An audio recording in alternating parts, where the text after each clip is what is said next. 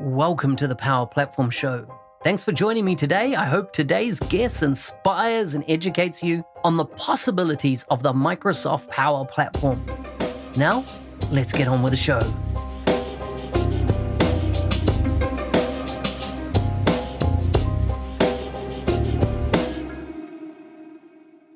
Today's guest is from Fishers, Indiana, in the United States. He is the president of Gap Integrity, highly experienced CRM, XRM, Dataverse, Power Apps, Power Platform developer, as well as, of course, a traditional .NET developer. He is frequently speaking at events, training conferences worldwide. Uh, year long, he's a co-host of the XRM Toolcast podcast. Check out the show notes for links to these, as well as his social media, bio, etc. Welcome to the show, Daryl. Thank you, Mark. Pleasure to be on. Good to have you on, mate. It's been a long time since you've been on. The last show that you were on with me was episode 121. I'm about to hit episode, well, I'm getting into close to the 600s um, of episodes. So, as you can imagine, that was a very long time ago. I was a green podcaster. It was. I was just yeah. a babe. So new, so new to it then. Just to give us a bit of background before we get cranking food, family, fun, what do they mean to you?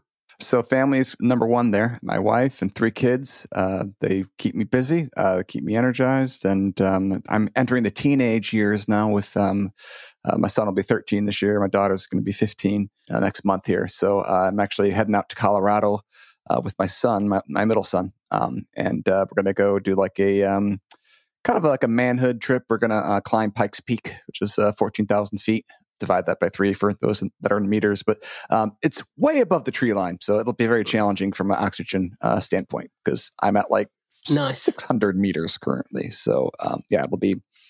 Uh, I'm sorry, no, I'm at like 200 meters currently. Yeah, yeah. Um, so yeah. yes, it'll be completely different for me. So yes, wicked. And was it a weekend long trip type thing planned? Yes. Yep. Yep. We leave on Thursday and get back on. Uh, uh actually, we'll get back on Tuesday. I know, late Monday. Late Monday. Okay, but um, nice. yep, gonna gonna go through and explain things that are involved with uh, coming of age. So yes, exciting trip. I love it. Awesome, man. Awesome. So, give us a bit of background of what you were doing before you came across the Power Platform. Uh, actually, before you came across Dynamics, right? Because for those of you in the know, Dataverse is the the abstracted layer of what we had with Dynamics CRM back in the day. That basically gave us a headless tool to build any type of solution. So take us back to before your CRM days with Dynamics. Let's go back that far to start with. Yeah. So before my CRM days, I was working at a uh, local nationwide retailer, kind of like a Best Buy. They've since gone out of business, but I was working at the headquarters. I was in uh, ASP.NET, web forms, uh, C Sharp back in the day, and just doing basic generic Microsoft development. Um, custom app dev stuff. So that was my day in, day out. And most of the stuff I did was internal. Some stuff I did was publicly facing, like, you know, trying to figure out, go query our backend databases and figure out where we're, uh, where our stock, we're at stores. So that way we could figure out, if, you know, what store near you has this particular product and that kind of stuff. So um, it did that, but then a lot of internal stuff as well. So yeah. And then how did Dynamics come on the the play? Like, how did that come on your developer journey? At what point was it? And uh, yeah, for you. Yeah. So I, did, I didn't get into dynamics willingly, I guess. It wasn't like my goal. I was like, I'm not, I'm, yes, this sounds great. Uh, it's going to be yeah. awesome. Um, it, uh, most devs are like, I don't want to be in this box. I want to be able to just do whatever the latest and greatest stuff and do whatever new stuff is. I don't want to be um, in this box. And so that was, I, I guess, me at the time as well. Um, and so what happened was I uh, had a consultant firm reached out and was like, "Hey, would you be interested in joining us?" And I'm like, oh, "Yeah, sure." Let me go ask my friend that actually used to work there, and he's like, um, that place is okay, but the place I'm at now is hiring. I think that's even better. So why don't you go talk to us? And I was like, okay. Um, he used to be doing the same thing, basic thing I was. And then he got into leading the dynamics practice in the technical sense uh, mm-hmm. at the mm-hmm. consulting firm. So I was like, okay, I'll join. Um, I was just joining as a regular .NET dev, not dynamics at all. And then um, they said, hey, our first project that we need you on is actually in dynamics. Would you be willing to pick that up? And I was like, well, that probably will increase the likelihood of me working with my friends. So sure, I'll, I'll, I'll pick it up. Can't be that hard. And um, it was, I think, probably two months into the project where I realized, oh, I know more about this than anybody else in the company does because it wasn't really their main source of income. So it was like me and maybe two other people, mm-hmm. um, and then they had you know a hundred some odd custom app dev people uh, in the company. So uh, yeah, that was kind of interesting to, to, quickly get caught up on that and to, to learn everything. So yeah, nice. That's how I got brought into it. My last background question for you is this: Why did you stay with it? Why didn't you just continue your .NET C sharp career yeah. and build apps um, based on that skill set? What, what was the kind of oh my gosh, why the Power Platform that we have today? Of course, whatever it was before. So one of the parts I don't like about being a developer is having to learn a whole bunch of brand new stuff all at once because it's kind of like a paralyzing effect of I, there's 50,000 things I don't know how to do this that or the other thing.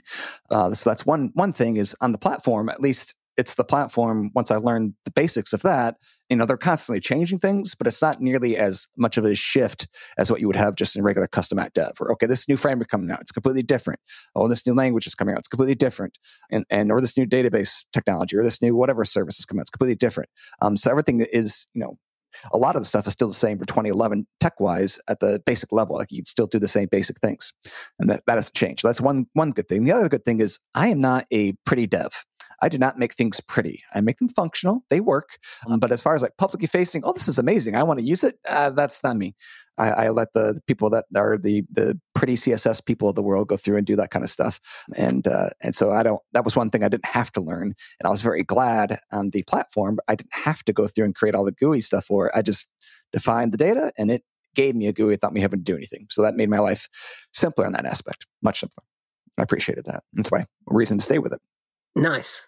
You, you said you didn't you don't want to be constrained. Most developers don't want to be constrained, yeah, um, or put in a box as such. So let's talk about that. What is the um, the limitations of the Power Platform from a uh, a developer's perspective? So the funny part is after being on the platform for a while, and especially as the platforms evolved, those limitations are becoming farther and farther in between. Yes, there are some core aspects that you have to know still how to do eh, if you're going to really understand the breadth of it. But so much stuff is just in Azure and Azure Functions and Databricks and, uh, and all this other stuff that's not even on the actual platform itself that you're you're still playing with basically any Microsoft technology you want to. You know, back in the day, we were going to the MVP Summit and them talking about dynamics, you know, the, the top speaker talking about dynamics, we were lucky if we got a footnote in the topic, know, an hour long session. And now, now we're going, it's like 80% of the talk is about the power platform this power platform that and all this other kind of stuff so it's, it's interesting how we've gone from from being the um, the crazy uncle of the family that no one wants to talk about to kind of being the centerpiece so um so yeah that's that's, that's been interesting as, as well to watch that so yes the the old me didn't realize that uh the once you get on the platform that really there's a lot of stuff that you still get to play with and have fun with. In fact, I even had an interview with a guy once. He's like, I don't want to do that because I don't, you know, there's other things I want to work with. I was like, you can work with basically everything that you're working with now. You just you just don't have to worry about some other stuff. It just takes all that stuff off your plate, so you can focus on what you want to focus on. So yeah. So that's interesting. So you're saying you're not constrained just by the Power Platform. You've still got everything that's in Azure at your beck and call to, to extend into, and everything in M365 to extend into or consume if it's already built there and you you you have a use case. And I think of Entra ID as one of those. You don't have to worry about it. It's it's taken care of and therefore consumable. Yep. Tell me this then. Back in the day, and I'm talking about the on premise days when we used to deploy, you know, m- multiple servers and things like that. I remember being on a project and it was for a, a government agency, and the government agency had already implemented, it was a failed implementation of back then of the Dynamics product. And the reason it was a failed implementation is that um, the company that did the work had no experience with Dynamics but they had a whole team of .NET developers, and they said, "How hard can this be?" It's SQL underlying, you know, integration with some peripheral services like you know reporting services and Exchange and things like that, and it's .NET. Hey, we can build it, and and the biggest issue was it was a global deployment, so New York, London. Uh, and a multiple of other countries because being a government agency that had international, you know, um, presence. And they had basically screwed it over because they didn't listen or obey anything in back then the software development kit, right? Which says that you cannot do SQL injections as an example, um, and a number of other things. And the thing was just running like an absolute dog. Um, yeah. And, uh, you know, and back then it was like, well, throw some more RAM in it, get faster disks. That's the issue. And of course, had nothing to do with that. When you say you can do anything, I go back to my question: Are there any constraints um, on the Power Platform? So, um, I'll give you an example. So on the recent project I was on, I've integrated, I think, with collect.com, box.com, a couple internal application integrations, and like one other thing as well. And when you're dealing with integrations, like it doesn't matter. Your one thing's talking to nothing. It's all JSON anyway. So I mean, it's not like it's, there, there's any real big issue to deal with there. Um, so then on the actual platform itself, the constraints mostly would be actually on the UI side of the fence. There's any like custom UI stuff you want to use. You're going to be rather kind of uh, constrained to what you want to do outside of like iframing and some stuff or that kind of stuff is going to be uh, more painful. So, really, the one point that I'm going to say, yes, you do want to be careful of is if you are trying to make something that's amazingly pretty or amazingly specific and customizable, is you kind of have to take your hands off of it and say, hey, this is not designed to be the exact pretty, you know, pixel perfect. You know, Canvas apps will get closer to that. Um, but even with that, there are some things that it just it's kind of difficult to do in that that the, the custom dev stack would be able to give you more features on. But what it's going to help you on is that price point and that and making it available for other people to use and just to bring it to market faster. There's so many other reasons that it's acceptable in the vast majority of cases to to say, you know what, I can sacrifice on this to get that. You're always going to have trade offs in whatever you're doing. Yeah.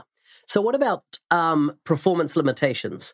You know, Dataverse ultimately is accessed via an API, whether that's a Power App, Power Automate, or anything else. Yes. Uh, potential bottleneck, right? Is that that's what would jump to mind for me? You know, what if I want to do a massive data load, ten terabytes of data, or something crazy? Yeah. What's my performance limitations? Let's take a quick break. Are you ready to transform your career in just 90 days? Join me on the 90 Day Mentoring Challenge and unlock your full potential. As a listen to the podcast, enroll now and get 10% off using the code MBAP. That's MBAP at the checkout. Don't miss this opportunity to learn from industry leaders and accelerate your growth. Visit ako.nz365guy.com and start your journey today. So unfortunately, that's the thing that it's very difficult to to get a, a good answer on because every single time every integration you've ever been in that's large like that is just completely its own its own beast, its own thing. Um, I will say that I've been amazed in the you know three or four years here how much the improvements that you the rarity I've seen that the Dataverse has actually been the performance bottleneck. As long as you are utilizing the correct methods that they offer in order to do those massive type of integrations. The biggest issue really isn't performance as much as it is cost for storage, I think. Because um, at some point in time, if you're dealing with massive cost for storage, is now if you're not you know, utilizing virtual tables or, or some other things, you're going to potentially run into issues where, all right, this thing's massive and we're paying a lot of extra money. We wouldn't, you know, it still works, but it isn't uh, probably economical or isn't the wisest choice going when you're dealing with those massive quantities of data. So once you get into those massive areas, uh, you're going to be spending a lot more money per per project than you would otherwise. So there is a a upper level that is maybe kind of um, dangerous, I would say, but mm-hmm. I would say that you're dealing with one percent of companies, if not less. Yeah, yeah, a tenth of a percent probably of companies dealing with that. I mean, I know Best Buy um, tended to run a whole bunch of stuff on their CRM instance. So if Best Buy can run it, most other people can run it as well. Yeah, nice. Tell me about integration challenges. Are there any? uh, well, yeah, but that doesn't necessarily mean it's not. It's mostly on the other side. It's. Uh, I feel like it's mostly on the other side. What do you What do you mean?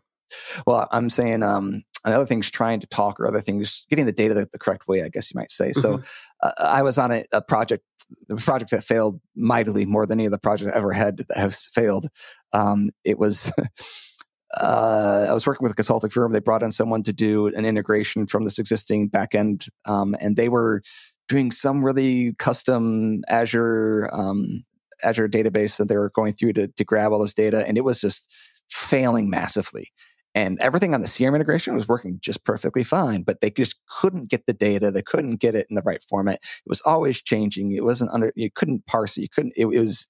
It was incredible how that was. Um, that was kind of the issue. So, um, but outside of that, no, uh, it's it's I haven't really had other issues, and it's been mostly on the non. It's been on the other side coming in rather than um, on the CRM side itself. On the I keep on saying CRM, the Dataverse side, yeah, yeah. the Power Platform side itself. So that's that's been rarely the issue. There are some hoops sometimes you need to jump through. Oh, well, it's doing this, and you have to do it this way, um, or you have to do it this way, or hey, we're running some plugins and that's going to be a two minute timeout. So you have to make sure that you're going to be able to execute it less than that. Of oh well, if you do that, then maybe you just need to turn off the plugins and it'll go faster. So there's lots of um maybe some hoops that you have to go through, mm-hmm, some mm-hmm. scars that you may get from it. But it's there's um having that proverbial cliff of oh no, we've gotten halfway down this, and now we're stuck. I've yet to run into that uh, yet. Nice. You touched on cost before, potential mm. storage costs. How does one control storage in such a way, like whether it's an archiving strategy, and is there such one with um, with Dataverse? And if you're saying storage is your potential cost issue, and I see people potentially would jump to mind, well, I, I would do that in a low cost storage environment, whether it be Blob, whether it Cosmos DB or something else. But with Dataverse, you don't have that necessarily and what you get out of that box, that flexibility to go, I want this data set to be over there. How do you handle with your customers one, good cleanup routines, and two, making sure that the data is in the uh, price optimized storage environment at any time? um, I don't know how your projects are run. My projects tend to be run on the we're already two months late here's your name, here's your here's your user ID, here's your password, uh, get crack-a-lacking. So I haven't spent a whole lot of time on the phase of preparing to avoid that problem. Mm-hmm. So usually, oh, we get an email, hey, we've we've met the storage limit. Good thing is that you don't. It just because you meet the storage limit doesn't mean anything really from a usability standpoint. There's certain things in the backend you can't do, but the actual production system will run just fine. Um, one client I was on, I think they had, I think they were over the data limit for like massively, like 10 times over the data limit wow. for like the last three years. it was kind of ridiculous. But uh, under those those those um, lines, it's it's like oh, okay, what's going on? What's what's causing the issue? And oh, well, for this case, for this one particular client, each one's different. This one they deal with uh, ticketing systems, so they're actually selling tickets for concerts. Mm-hmm. And oh, every single time they had an event, there was some back end process that was going through and incrementing the number of people at the event.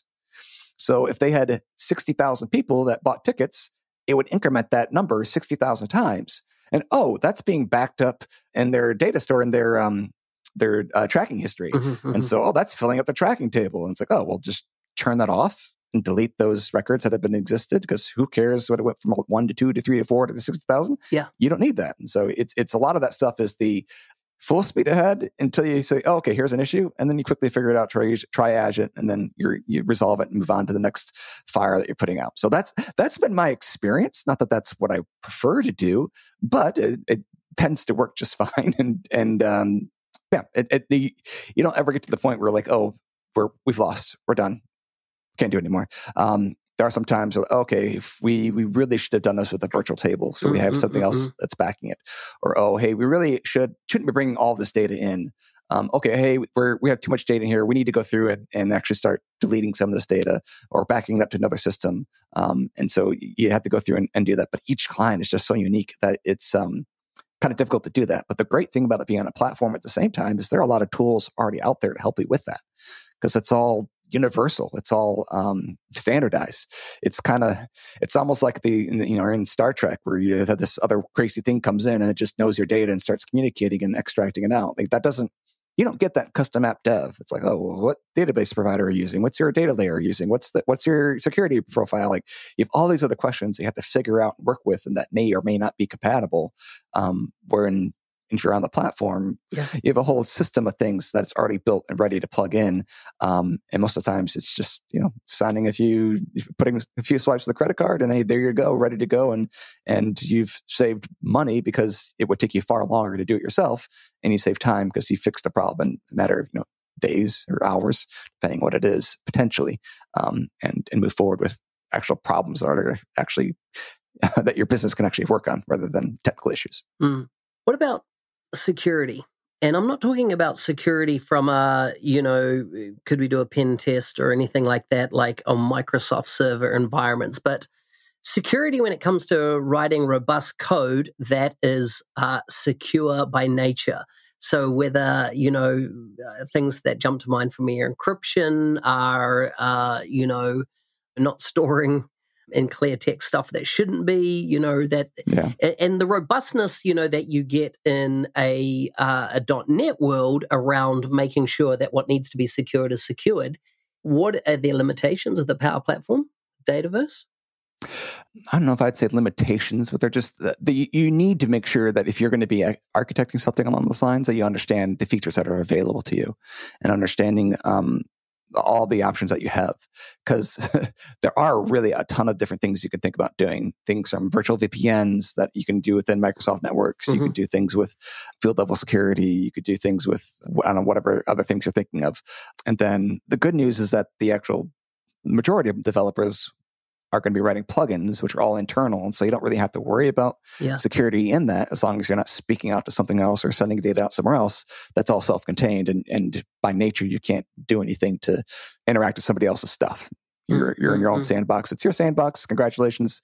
Shoot yourself the foot you want to, but it's your own gun, your own foot. You're not going to shoot somebody else's uh, foot, and they're not going to shoot your foot. So yeah, so those things are things that I you really just need to know what's available. And is that limited to you? Maybe I don't know because I haven't had to worry about it. Yeah. Custom dev word, you have to know about so much stuff, and and man, I can't imagine how long it would take to figure out okay, what's the best option for security in this aspect? How do I make sure this Mhm. is rapidly handled in this way or shape or form? Where hey, the security model is already in place.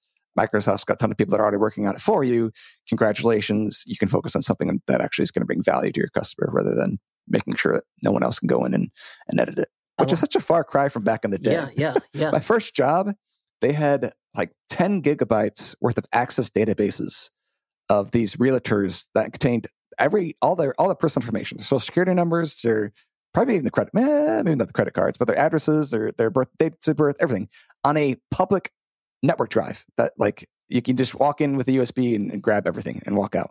Um, so hackers have gotten better, which is bad, but at the same point in time, security has gotten a lot better too. So Yeah. um, yeah. What's the learning curve? As in, if eh, to one, pick up Dataverse, the Power Platform, and the suite of products there, an experienced coder, what's their, eh, like, yeah, I know I'm not asking for how long is a piece of string, but like, what's involved in learning enough to be able to start putting these tools to, uh, you know, in, in as part of your project? So I'll focus on just internal stuff rather than integration type of work, Yeah. um, because that's going to be completely brand new to somebody, right? Um, so if you're bringing somebody that's coming in, if they are already a .NET developer, then they're 90% of their way there already as far as doing backend server plugin development. It's all right, here's my interface. Here's a the early bound generator. If you want to go through and generate your types, you have IntelliSense everything and compile time check safety. And all right, so that's good. And then oh, um, if you want to deal with the client side, then that's a different question as well. Okay, so do you, you know, have some TypeScript abilities or JavaScript abilities? Those are pretty universal for anyone that's in the Microsoft stack. And so, all right, well, this is where your entry point is for this, and this is how you can interact. Here's the data model for this. Here's the documentation for that. Um, and so, uh, a lot of that stuff you can find on your own. AI has made that even easier now, so you don't necessarily need uh, someone else to bring you up with it. But I've been on multiple projects where I've had people that are just strictly no no experience at all with the platform, and within probably uh, a day and a half of, of being with them, walking through Mhm, a couple mhm. of examples, they're fairly productive, and within a couple of weeks, then they're they're fairly very productive. I would say. Um, I've been I deal with a lot of developers that are um, offshore, and, and maybe they're uh, you know the last project I was on, I think there was like three months of development total, and um, it was a couple of frustrating moments um, until finally they got to the point of, hey, I've been doing this for over a decade, which is probably a little bit under half of their, their age. Mhm, Um, mhm. So there's got to be more that I know. And it's okay for you to say, I don't know this. And then we can talk through that. And so once we got through that little coming to Jesus moment, like this guy turned into one of our best devs. Yeah. And I mean, he'd only had three months of devs under his work, under his three months Mhm, of dev under his belt, and then probably a couple of weeks, two, three weeks of just hey, going through and and, and kind of some one-on-one time here and there. And he was off the off to the races, ready to go. So um, so yeah. Is it easy to pick up? Yes, it's easy to pick up. Um, especially since there's so much stuff that's out there. There's so many um, people that are out there. Like if you go from one company to another company, you have to learn everything about their custom solution. Everything because it's not guaranteed to be the same thing. Mm-hmm. When you're going from one power platform shop to another power platform shop, you don't have to learn everything. You only have to learn how they implemented it, what are they using out of it, and you don't have to learn the, the under underlying technology. So not only is it easy to pick up, once you've picked it up, now you're applicable and employable for yourself if you're thinking about yourself uh, for other companies that are in that same that same bucket. So it, it's a, a wonderful. Um, a business opportunity for someone to, eh, to add that to the skill set because now hey there's all these other options that people are much more willing to, to look at me for if I've got just a little bit of experience, because really you could be quite productive with very minimal practice at it, really. Nice. So let's say I get pulled in on a project and, or let's say I go for a job that they've said, you know, it's going to involve the power platform. I've never been on a an enterprise or a large power platform project where full backend development hasn't been part of that story, right? Because you can do so much, yes, around, you know, through the UI, creating your tables, your columns, etc. Um, and there's a there's a lot that can be done. We see a lot of functional based consultants, non developers, um, dare we say low code developers, um, building out applications. I want to put that to one side. As a professional developer, please don't shoot me if you classify low code as professional development. I don't mean you, I mean the audience, because uh, I know it does. Don't, I'm not worried about the nuance. Um, as a pro developer, let's, let's say as a, as a .NET developer, give me the kind of top five things that you would typically do if you're part of professional development team um, for the Power Platform. So you might be working, let's say, for a Microsoft partner, and all they do are Power Platform implementations. If I was a dev, in other words, I opened Visual Studio and and I'd use things like GitHub and uh, pipelines and ALM and uh, all those great things. What, if I was to define them into categories, what are my typical things that I would do and build as part of a project like this? Okay. So you're going to be, uh, let's see here. So if I think of the server side of the, the fence, it'll be building plugins, plugins C-sharp projects. Yep. Mm-hmm. Uh, you'll be uh, hopefully unit testing those things. um, especially, I, I, find a lot of people are new to development entirely, and so they kind of skip the unit testing part of it. But anyone that's got previous experience comes in, they're like, why aren't they using unit testing? There's lots of tools that are available for that to make your life easier on that side of the fence. Um, there's going to be uh, maybe a little bit of a difference in that you're having to deploy your code to a server after you've unit tested it rather than maybe running it locally. Um, because that's a, a, little bit different in that aspect. Um, so you're going to be working with that. You're going to be working with um, getting your changes into a managed or into a solution, which is something that completely different. Uh, it would be unique, something that would be um, mm-hmm. you have to learn. Now it's not difficult. Uh, it's just you have to learn it, um, and it's just okay. This is how I get my changes in. This is how I get my plugin in. This is how I register the changes for it, and so the system knows when to call it, what information to give it, what's the context to give it. And that kind of information. So there's that work that would be involved. And then generally, depending on the size of the team, um, you're also going to be doing some of the configuration of the system as well, which is always kind of interesting where that line falls. Mm-hmm. I've been on some teams where they've got BAs that are doing everything. They're creating every field for you. They're mm-hmm, creating mm-hmm. they're creating the forms for you. They're, they're, creating the views. They're doing everything. And then I've got another teams where it's a little mixed match. You do a little bit of that. They do a little bit of this, and others where the devs are doing everything.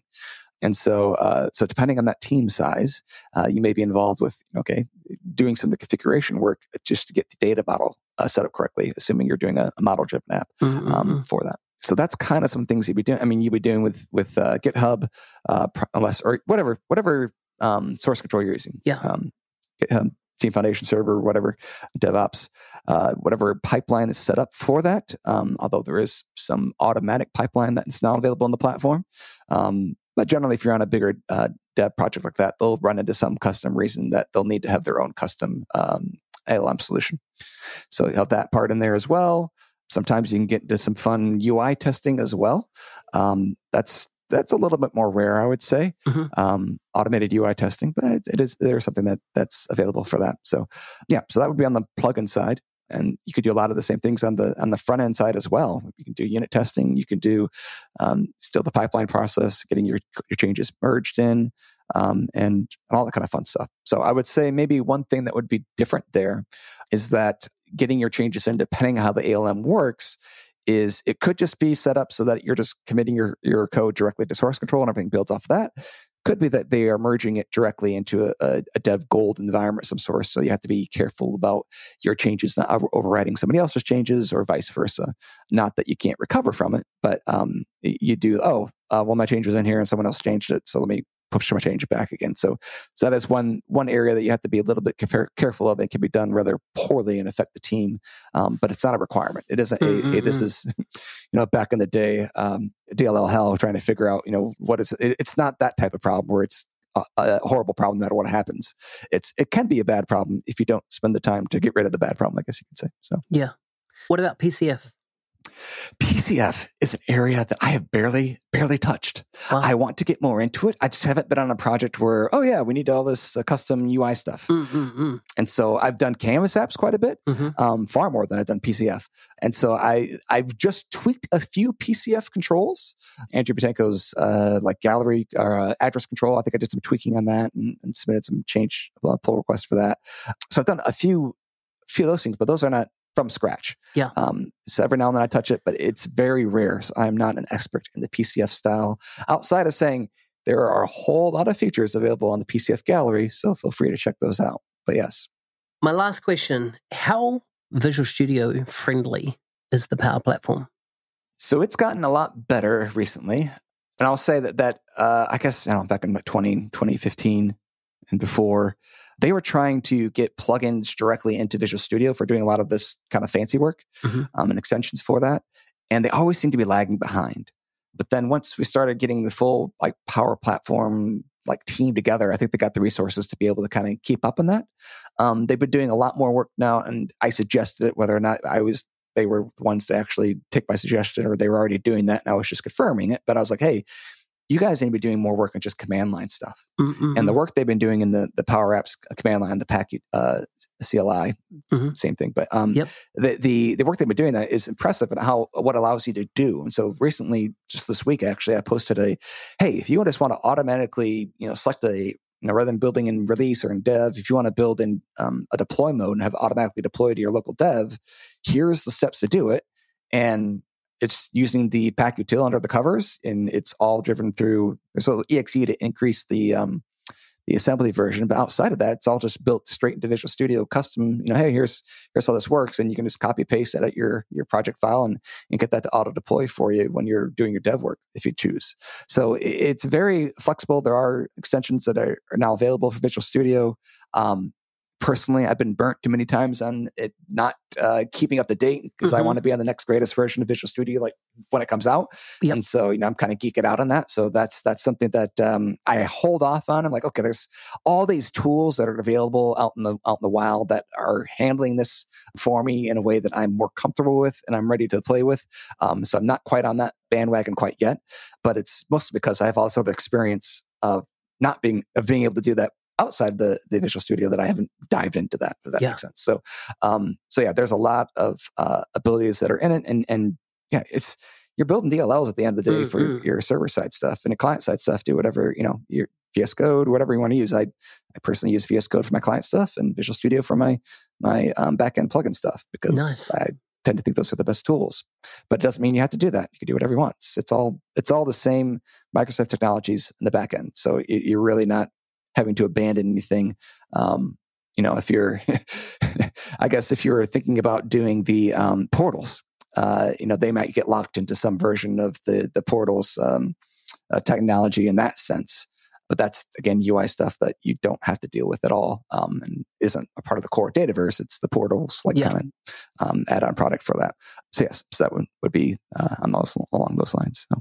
Nice. I've, I've hammered you with a, a, quite a few questions, probably the most questions I've ever asked on a podcast, actually. And but is there anything I missed that if you you know the audience are you know .NET developers, what do you say to them? Anything I missed? Anything we haven't discussed today? So I had one developer that I was tutoring at a company, and we were like uh, a week into you know kind of working together on something And he's, all right, I'm, I'm putting my two weeks notice. I'm like, what, what are you leaving? I thought you were doing great. He's like, I was, I was starting to like it too much. It was scaring me. I, I was like, no, I guess, because if I like it, I, I may never, never, may never leave it. And so, uh, so that was why he left, which I thought was kind of an interesting reason to do that. But, um, you know, for from as a developer that's being concerned about joining or concerned about you know getting the skills to do that, um, you're scared for the unknown, and that's understandable. But that shouldn't be a reason to not to not uh, push it. The Level Up Discord channel has got hundreds of developers on there, and Microsoft is on there as well that you can ask questions on and get answers on almost 24 hours a day. Yeah, and so you've got help, you've got support. AI knows everything like you can have it write you a basic plugin because it's out there already. It's not mm-hmm. custom. Mm-hmm. It's not. It, it's the people have already solved half those problems. Um, the problems that you do have, pe- people usually solve that nine times out of ten. Hey, I, this is annoying. I don't want to do this again. Oh, okay. Well, someone's already solved this. Great. I'll take what they have and utilize it and move on. So um, there's so many things that you may have to deal with or learn as a custom person that you don't have to worry about. Um, and then you've also got this natural upgrade path as the platform keeps on growing. You just get to keep on growing with it. Um, so from a, a dev perspective, that's great. From a company perspective, you're hedging your bets as well because if you are building on the platform versus custom, if you, you lose, let's say you have a, developer lunch, everyone goes out and has a lunch and they get hit by the proverbial bus. Who's going to be able to take over for that? Who's going to be able to learn everything that you had? It's going to be very, very difficult. But if you're on a power platform sort of thing and that happens, you can go and get 10 guys today. They may not be the best guys, but you can get 10 guys a day. And if you wait a month or a couple months, you get 10 really good guys, um, guys and girls. I wasn't using that as a, as a gender thing, but just as you know, people to go through and do this and be up and running and not be missing, not be in this horrible, unrecoverable state where you may not have a way forward. Um, and so, just from a risk perspective, I, I think that's something that should be talked about. On top of it's so much cheaper uh, as far as how quick it is to get something developed and how few developers you need because you've already brought everything already in. And usually it's the sucky stuff that you don't want to deal with as a developer. I don't want to deal with security. And when I was doing custom dev, it was like, all right, I'm going to spend 20 minutes to do this and, and I can get it done. And I spent two hours figuring out the security and then 20 minutes actually doing the work. And I was like, well, if I just didn't have to worry about the security, it's be done simple. Well, here it's done for you for the most part. And so um, all those reasons are great reasons to to um, take the leap and to give it a shot. And uh, yeah, and if you're doing that, reach out and let me know. And uh, I'd love to connect with you and show you some tools that you probably um, will save you hours if you just know that they exist. Hey, unit testing, use this. Hey, you want to be able to run SQL queries, use this. Um, hey, you want to do this, then use this. Hey, you want early bound typings, and use this. And um, hey, you want some tracing? Hey, go use this. There's all these tools that are out there that um, are, and that's the reason that I have the XRM Toolcast because I get to learn those tools as well because they're constantly coming out, new tools all the time. So um, yeah, so all this stuff, exciting, uh, it's growing, and uh, it will continue being that for the foreseeable future. Hey, thanks for listening. I'm your host, Business Application MVP Mark Smith, otherwise known as the NZ365 Guy. If there's a guest you'd like to see on the show, please message me on LinkedIn. If you want to be a supporter of the show, please check out buymeacoffee.com forward slash NZ365 guy. Stay safe out there and shoot for the stars.